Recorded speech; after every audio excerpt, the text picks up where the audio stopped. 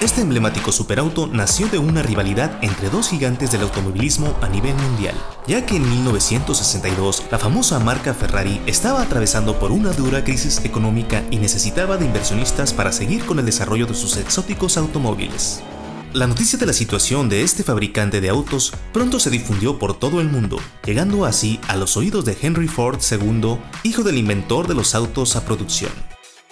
Henry Ford II le propuso a Enzo Ferrari inyectarle a la empresa una fuerte cantidad de dinero para levantar la reconocida marca y volverse socio mayoritario con más del 60% de las acciones, a lo cual Enzo había aceptado.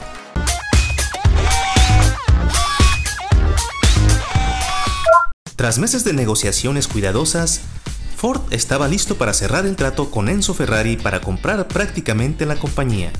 Enzo tan astuto como era, sabía que necesitaba de una gran inversión y por otro lado, Ford quería probar suerte en las carreras de resistencia. En mayo de 1963, un acuerdo listo y en forma estaba sobre la mesa, uniendo al gigante estadounidense junto con el ya posicionado mundialmente italiano para crear autos de carrera y motores de competición.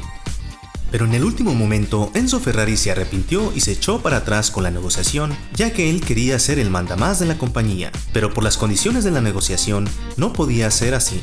Y tal vez él nunca tuvo la intención de vender en lo absoluto, lo cual provocó el descontento de Ford y tuvo que regresar a Detroit con las manos vacías.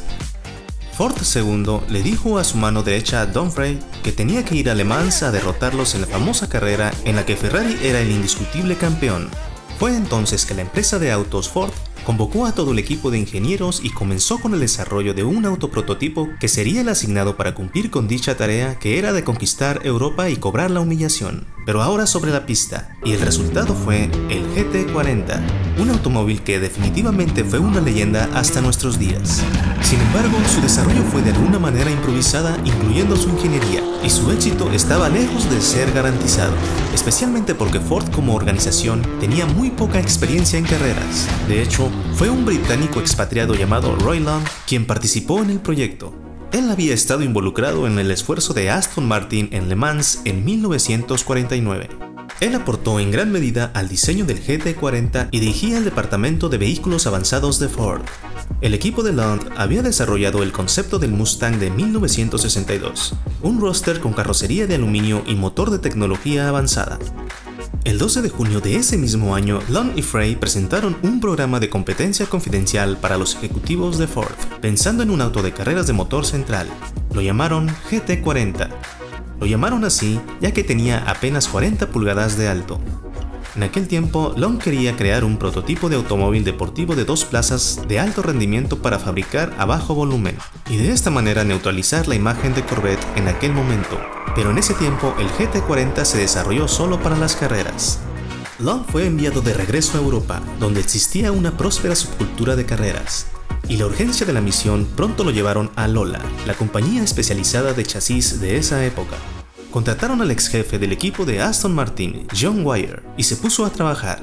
El cuartel general de vehículos avanzados de Ford estaba listo, considerado sorprendentemente un paso adelante de Lola como desarrolladores de autos de carrera. El propietario de Lola, Eric Brogley, pronto entró en desacuerdos con Lon. Brooks McLaren fue contratado para evaluar el prototipo en agosto de 1963, y el trabajo avanzó rápidamente.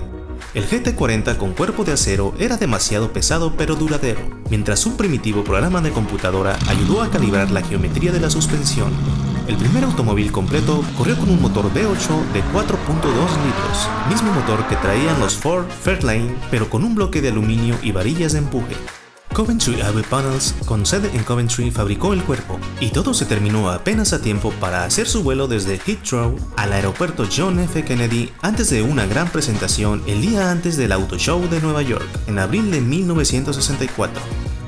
Al entrar en las carreras de Gran Turismo, creemos que estamos aceptando el reto más difícil actualmente disponible para las mentes y el talento de los constructores de automóviles, dijo a la prensa el jefe de Ford, Lee Iacocca.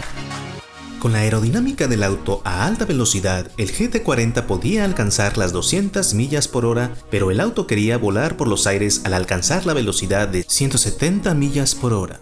Sin embargo, no contaba con la suficiente potencia para hacer frente a Ferrari y para el fin de año, John Wyer, aunque todavía estaba a cargo de la construcción del GT40, entregó el proyecto a un excorredor y leyenda estadounidense, Carroll Shelby, nada más ni nada menos que el creador del icónico Shelby Cobra, así como el Shelby Cobra Daytona Coupé 427, Shelby Cobra Concept, Shelby Cobra GR1 Concept, Shelby Mustang GT500, Mustang GT500 Super Snake, entre muchos otros.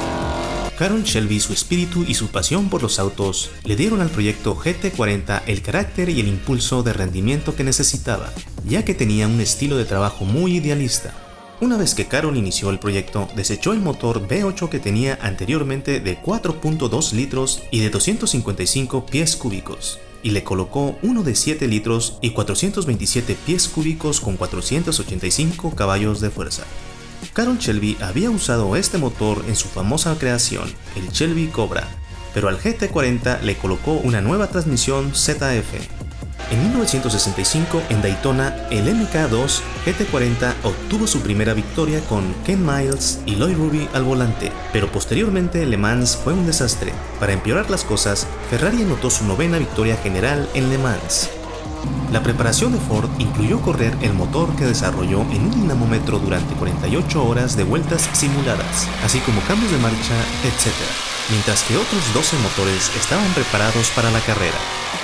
Ford montó un ejército para poder ir a competir a Le Mans. Ese año juntó 100 personas, 9 automóviles, incluidos un repuesto, 7 motores de repuesto y 21 toneladas de piezas de refacciones. Todos se movieron en camiones gigantes. Pero como en todo, no hay hora que no se llegue ni plazo que no se cumpla. En 1966 finalmente los buenos tiempos comenzaron. Henry Ford II estaba ahí, anticipándose a una actuación memorable de su maravillosa creación. De hecho, le entregó a Leo Bibi, director de los programas de carrera de Ford, una tarjeta de presentación con un simple mensaje. Mejor gana. Bibi lo guardó en su billetera por el resto de su vida. Tras una ardua y emocionante competencia, el GT40 obtuvo el famoso final 1-2-3 y el V8 de 7.0 litros con sus 485 caballos de fuerza fue suficiente para pasar las 200 millas por hora en la pista. Miles y Ruby ganaron la carrera. Esta sensacional victoria en Le Mans fue una estocada mortal para Ferrari, ya que se vieron humillados. Lo lograron, pero no sin controversia. Una carrera muy lluviosa eliminó a los Ferraris de la noche a la mañana, y los GT40 tuvieron una ventaja tan dominante para el domingo por la mañana. Tanto así que el equipo de Ford ordenó a los pilotos reducir su velocidad de los 3 minutos 30 a los 4 minutos por vuelta, para que al final llegaran al mismo tiempo en el primero, segundo y tercer lugar, de esa manera para tomar ese fotofinish histórico. Los altos mandos de Ford por fin tuvieron su victoria en Le Mans, y les supo muy dulce porque Ferrari, el mejor rankeado, estaba en octavo lugar y a 47 vueltas atrás. Años más tarde, para 1968, John Wyer resucitó a su equipo de carreras y obtuvo un patrocinio de Wolf Oil y se contactó con un tipo llamado John Willman. De esta manera volvieron a conseguir la victoria en Le Mans. Y en 1969 Ford se retiró de las carreras de Le Mans, dejando muy claro quién era el auténtico campeón en la industria automotriz en aquellos tiempos. Pero la rivalidad resurgió en el 2016.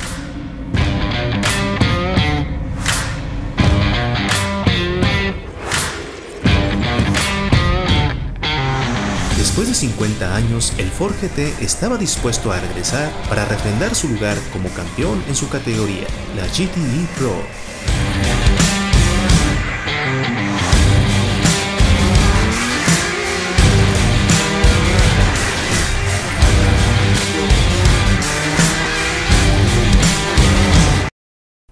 El fabricante americano retomaba las 24 horas de Le Mans medio siglo después de haber logrado su triple mítico triunfo ante los invencibles Ferraris.